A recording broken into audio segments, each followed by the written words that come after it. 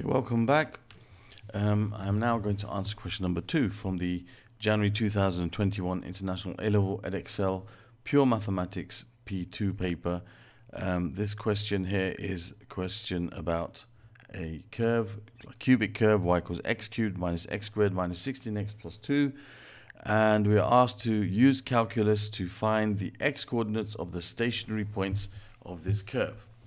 Okay, so now First of all, we should understand what a stationary point is. Now, a stationary point is a point of zero gradient. Could either be a maximum, could be a minimum, could be a point of inflection where it reaches zero gradient then goes back up again, or it's going down, zero gradient goes down again. Could be any of those things. Those are points which are called stationary points where the gradient becomes zero. So we know that at the stationary points, whenever you have a stationary point, okay, um, we can say that the gradient dy dx is equal to 0. So the first thing we need to do is to find dy dx. So we take the function and we differentiate it. So we're going to have 3 times x squared, multiplied by the power, take 1 from the power, minus 2 times x, to the power of 1, you don't have to write the 1, minus 16. The x term is dropped, and the x the the x is dropped you just left with the coefficient and for the 2 the constant is just completely dropped. Okay so the gradient of minus 16 x is minus 16 and the gradient of 2 is 0 okay so you got dy dx equals 3x squared minus 2x minus 16 now we have to find the x coordinates of the stationary points. So what we need to do here is we need to um, equate this to 0 first. So we know then dy dx equals 0, so I'm going to put 3x squared minus 2x minus 16 equals 0. So I have to solve this quadratic equation and find the values of x for which this is true. Now you can do this in multiple ways. You can do this by using the quadratic formula. You can do this by just guessing um, different values that could go in the brackets. You know, you can do some sort of guess and check. You can split the middle term. There's lots of ways of doing this. I personally prefer this method here, which I call the window method. So what I like to do is to do just draw a little kind of grid and then I use that to work out the um, factorization. So what I do is I say, okay, I know that there's 3x squared, I'll write it in the top top left, and the minus 16 is in the bottom right. I know that these two numbers that I have to write in these two boxes must add up to give me minus 2x. So the sum of those has to be minus 2x. So then I've got 3x squared minus 2x minus 16. But I also know that the product of these two will always be the same as the product of those two always going to be like that. That's a pattern that we'll notice when we're expanding brackets. So using this grid method, the product of these two numbers is the same as the product of these two. These two terms, so uh, 3 times minus 16 is minus, that's going to be uh, 30, that's minus 48 x squared. So these two numbers must also multiply to give you minus 48x squared, but they have to have a sum of minus 2x. So the difference between them has to be 2. So you think of all the ways of getting 48. I think I've thought about it already. 6 times 8 is 48. So the two numbers must be 6 and 8. And it's going to have 8 as a negative one. So I'll have minus 8x and plus 6x. Those two multiply to give me um, negative 48x squared. And they add to give me minus 2x. So I know I've got the right two numbers here. So let me just move these out of the way. Now, what I do is I just take one of these um, like this row, for example, and I say, what's the common factor of 3x squared and 6x? Well, that's 3x. And that's all I need now. I can say, okay, 3x times something gives me 3x squared. Well, that must be x. And 3x times something gives me 6x. Well, that's plus 2. And then I can say x times something gives me minus 8x. Well, that's minus 8.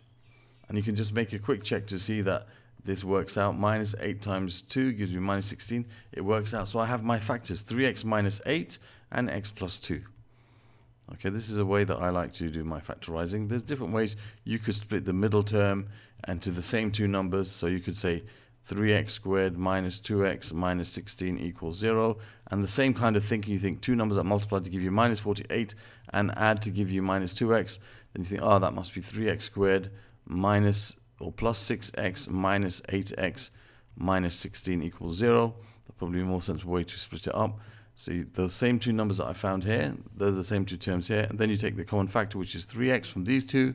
You're left with x plus, um, 2 and then you got minus common factor from these two is 8 and you got x again minus times plus gives you minus so it's plus 2 equals 0 so you're left with x plus 2 times 3x minus 8 equals 0 so it's exactly the same answer. It's just a slightly different way of doing it. This is the grid method. This is like splitting the middle term. You can also do it just by guessing. Just okay I know it must be a 3x and an x to give me 3x squared.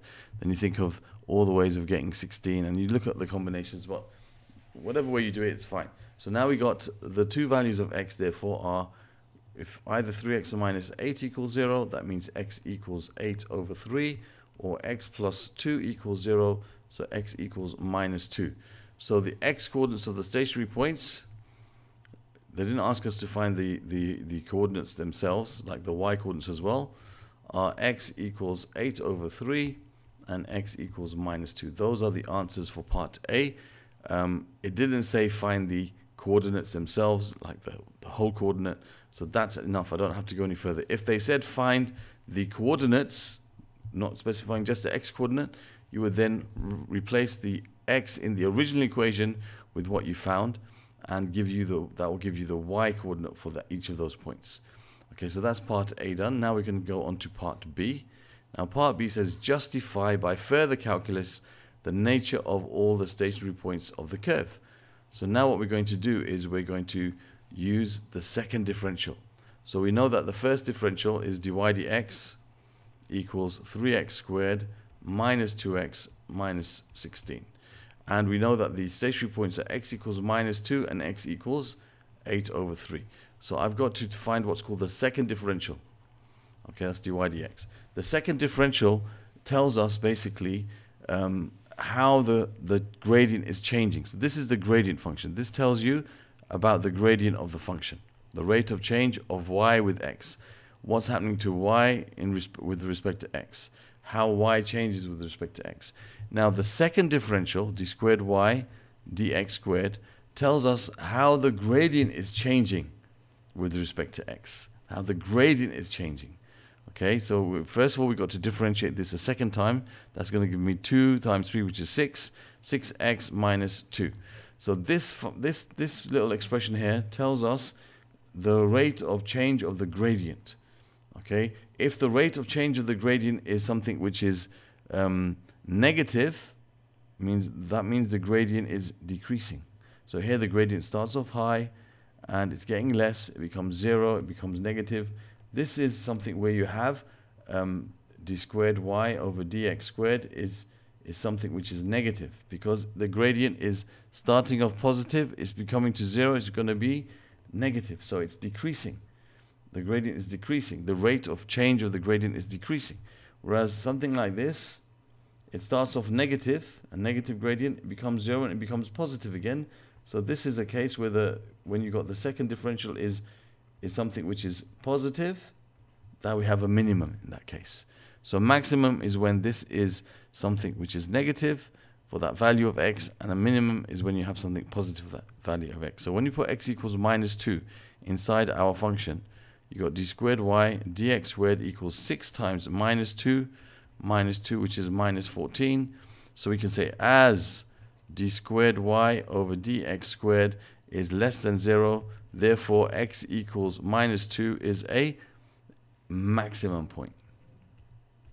It's maximum. Okay, x equals minus 2 is a maximum point. Okay.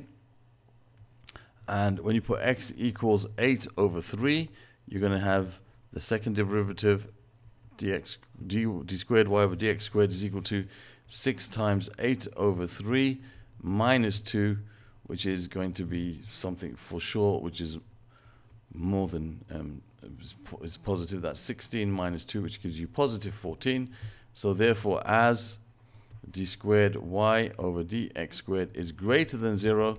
Therefore, x equals 8 over 3 represents a minimum point. Okay, and that's all we have to show.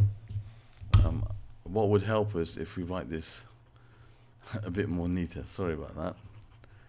My writing is going to pot right now. So this was when it was less than 0, so that was a maximum. And this is when it's a minimum. Okay, so those are the, that's the answer to this question, justified by further calculations the nature of all the stage. Yeah, that's it. So there we have finished this question. Number two, um, this is all about the applications of differentiation. Okay, so um, other questions that you want to see from this paper, which is January 2021, you can find in this playlist. Questions that you might want to see from this particular topic of differentiation and its applications from P2 you can find in this playlist that will play over that will show up over here. Subscribe to my channel from this link and on the top of the page you can go to a card which will take you to another past paper for P2. Thank you for watching and see you soon.